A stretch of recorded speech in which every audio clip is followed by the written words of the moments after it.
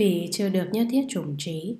Ví như người mới được các quả tu đà hoàn, tư đà hàm, ana hàm Do chưa đoạn sạch phiền não nên chưa thông đạt được quả A-la-hán, quả bích chi Phật. Các đại Bồ Tát do chưa đoạn sạch tập khí nên chưa thông đạt được nhất thiết trùng trí. Phải thông đạt được thật nghĩa của các Pháp mới gọi là Phật. Ngày tu Bồ Đề hỏi Y theo nghĩa gì mà gọi là Bồ Đề? Phật dạy nghĩa không, nghĩa như, nghĩa pháp tánh, nghĩa thật tế là nghĩa Bồ Đề.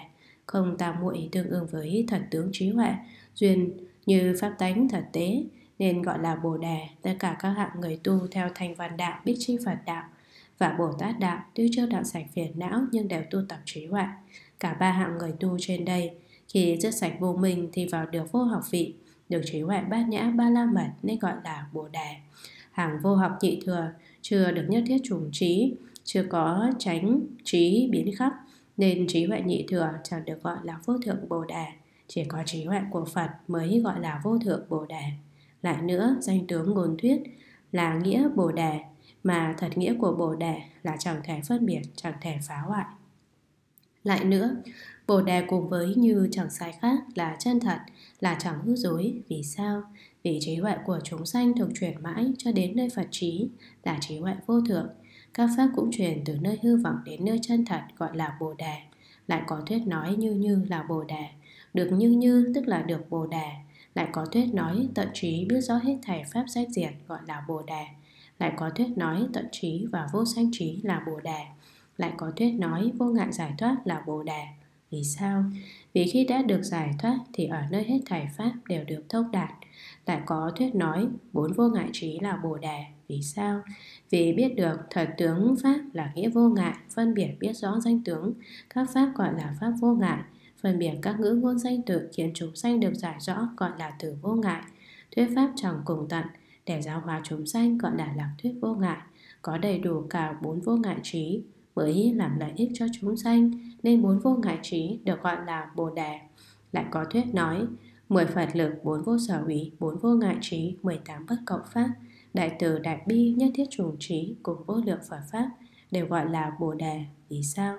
Vì được như vậy là được đại trí huệ nên hết thảy các thiện pháp đều gọi là Bồ Đề. Lại có thuyết nói, được chân Bồ Đề thì được gọi là Phật. Vì sao? Vì thành tựu được trí huệ vô lậu, Mười trí tương ưng với thọ tưởng hành và thức, Các nghiệp thân khẩu và ý tương ưng với các hạnh, Cộng duyên, cộng sanh, cộng tương trợ nên gọi là Bồ Đề lại có thuyết nói nghĩa bồ đề vô lượng vô biên mà Phật thường khác biết tất cả. Ví như vị chuyển luân thánh vương biết rõ tất cả các bảo vật trong kho, biết rõ giá trị của tưởng món chẳng có lầm lẫn. Ngài tu bồ đề hỏi, nếu bồ đề là rốt giáo không, là bất hoại tướng, thì Bồ Tát hành sáu pháp ba la mật làm sao tăng trưởng thiện căn. Phật dạy, Bồ Tát hành sáu pháp ba la mật nên biết rõ ở nơi thật tướng Bồ Đề hết thảy pháp đều chẳng có chỗ tăng ích hướng nữa là tăng ích thiện căn. Vì sao? Vì việc Bồ Tát hành sáu pháp ba la mật chẳng phải vì được hay mất, tăng hay giảm, sanh hay diệt, cầu hay tịnh mà khởi xuất vì bát nhã ba la mật là xuất giáo thanh tịnh vậy. Ngài Tu Bồ Đề hỏi nếu chẳng vì được hay mất, tăng hay giảm, sanh hay diệt, cầu hay tịnh thì làm sao Bồ Tát hành bát nhã ba la mật mà có thể thành tựu được Bồ Tát hạnh? Phật dạy Bồ Tát chẳng dùng hai pháp nên tuy có hành các pháp mà là hành rốt ráo không vậy chẳng nên nạn hỏi làm gì nữa. Ngài Tu Bồ Đề hỏi nếu chẳng dùng hai pháp thì từ sơ phát tâm đến tối hậu tâm Bồ Tát làm sao có thể tăng trưởng thiện căn?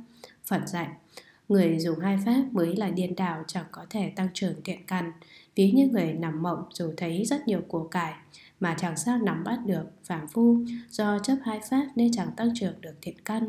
Còn bồ tát hành thật tướng pháp là hành bất nhị pháp, do chẳng hành hai pháp nên từ sơ phát tâm dẫn đến tối hậu tâm, bồ tát thường tăng trưởng thiện căn. Bởi vậy nên hết thảy thế gian, trời, người và atula đều chẳng có thể phá hoại được thiện căn của bồ tát, chẳng thể khiến bồ tát lạc về nhị thừa địa. Vì sao? Vì các ác, bất thiện pháp chẳng thể chế ngự được tâm bồ tát chẳng thể căn Bồ Tát hành sáu pháp ba la mật nhằm tăng trưởng thiện căn vậy. Ngài Tu Bồ Đề hỏi Bồ Tát vì thiện căn mà hành bát nhã ba la mật chăng? Phật dạy chẳng phải vì thiện căn cũng chẳng phải chẳng vì thiện căn mà Bồ Tát hành bát nhã ba la mật. Hỏi, nếu chẳng vì bất thiện căn mà hành bát nhã ba la mật thì còn hợp lý vì sao nói chẳng phải vì thiện căn mà hành bát nhã ba la mật.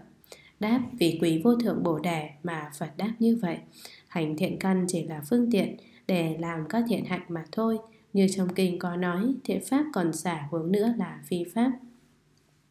Vì sao? Vì thiện căn chỉ là trợ đạo pháp,